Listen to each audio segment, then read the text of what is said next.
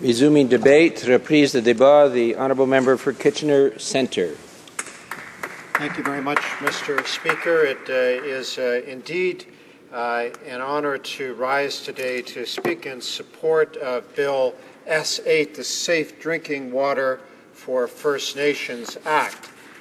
And I'd like to begin by just uh, describing, perhaps for those uh, who haven't yet uh, heard the framework of this, uh, how we arrived at this place tonight uh, in debating this bill. And I'll begin by saying that in Canada, water and wastewater operations and systems are generally the responsibility of the provincial and territorial governments. And over the years, different jurisdictions have developed comprehensive regulatory regimes for the protection of source water, water quality standards, and the oversight of water treatment plants and uh, water delivery services.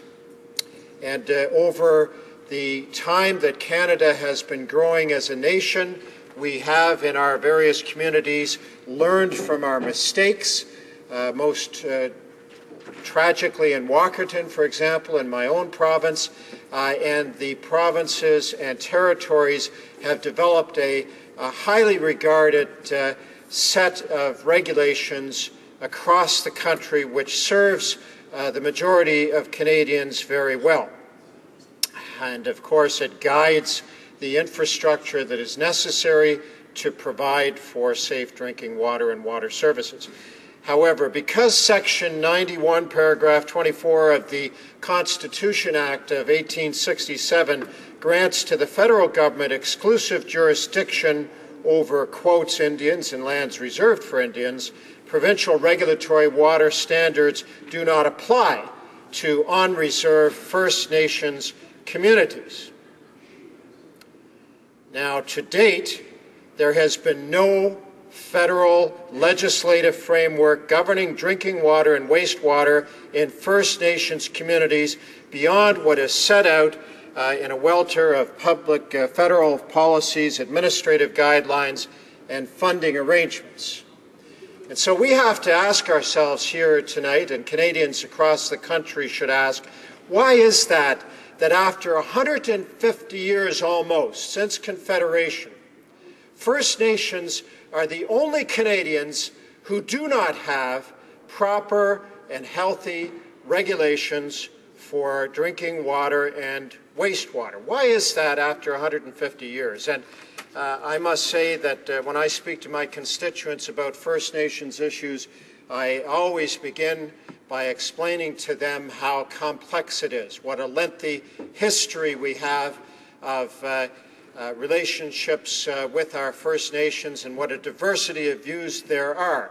Chief among them has been the constant uh, question of uh, First Nations sovereignty and to what degree can the Government of Canada uh, deal with First Nations on a local basis or a regional or a national basis and who is responsible for what. So that's a problem determining roles and responsibilities. There are three federal departments involved. I'm just going to mention one of them when it comes to uh, drinking water and wastewater, and that is Aboriginal Affairs and Northern Development Canada, which provides funding, including funds for capital construction, upgrading, and a portion of operating and maintenance costs. Now, how much? Well, 80%. 80% of First Nations operating and capital costs is paid by Aboriginal Affairs and Northern Development Canada to First Nations for the provision of water services uh, to their communities. And it also oversees the design, construction, and maintenance of water facilities.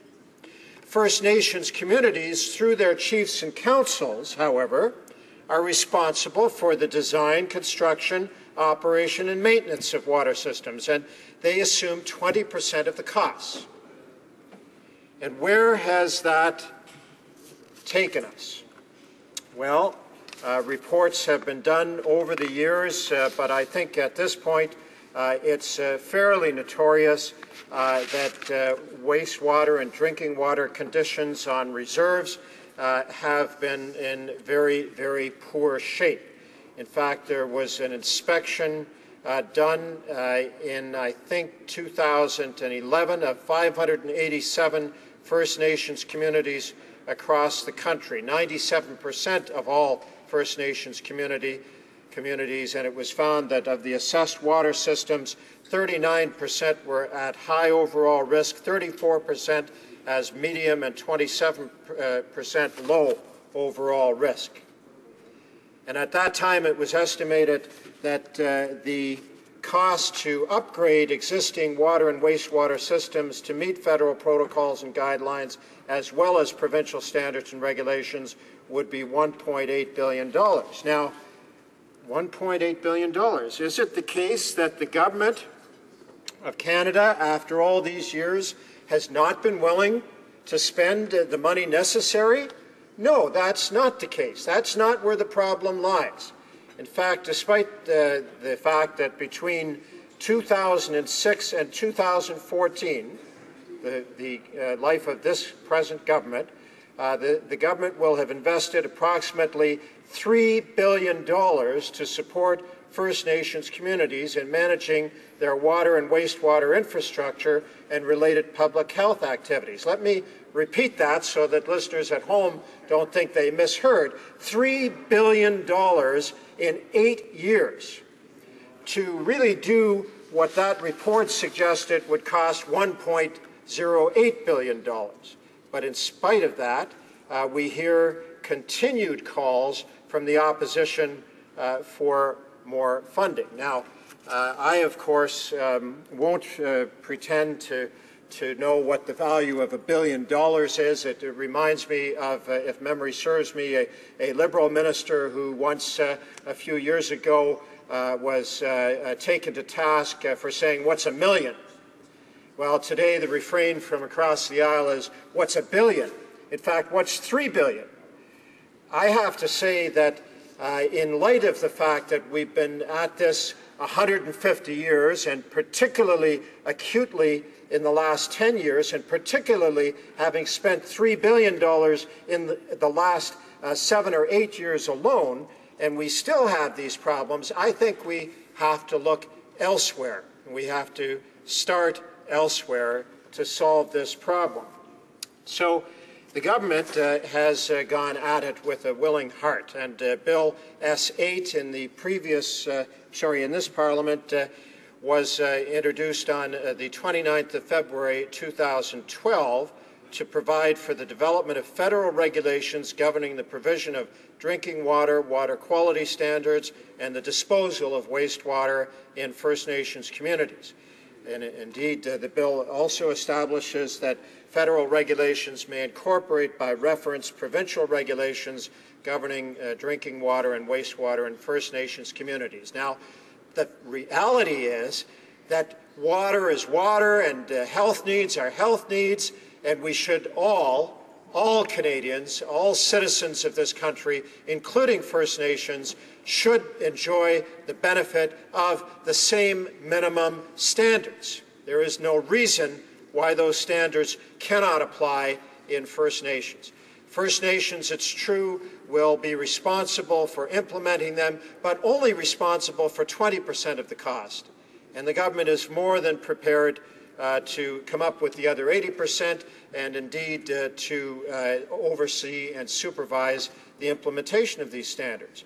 But this isn't the first time, Mr. Speaker. That's what really makes it frustrating uh, the member who spoke last talked about a lack of political will. Well, indeed, that's what we're witnessing here tonight if we don't pass this bill, because it's been tried before. Bill S11 in the previous Parliament was introduced in the Senate on May 26, 2010.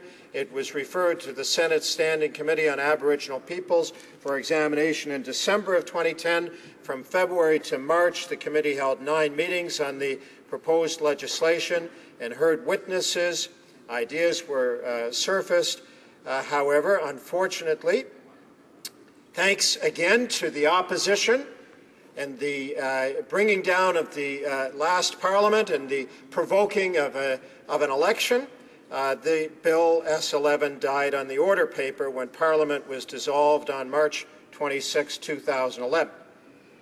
Now, Bill S8 does retain uh, several of the features of the former uh, Bill S11, but there are key differences. And uh, it would be beyond the scope of my time, uh, Mr. Speaker, to go into those, uh, but uh, I just have to say that the delivery of safe drinking water to on reserve First Nations is critical to the health and safety of the community's residents. Access to safe, clean, potable water is also closely tied to the economic viability of individual communities. And it's up to this Parliament to just take this step. We'll do more. This isn't the end of it. But let's at least get off the ground with this step forward. I urge the members opposite to support this bill. Thank you very much, Mr. Speaker. Est 20h19,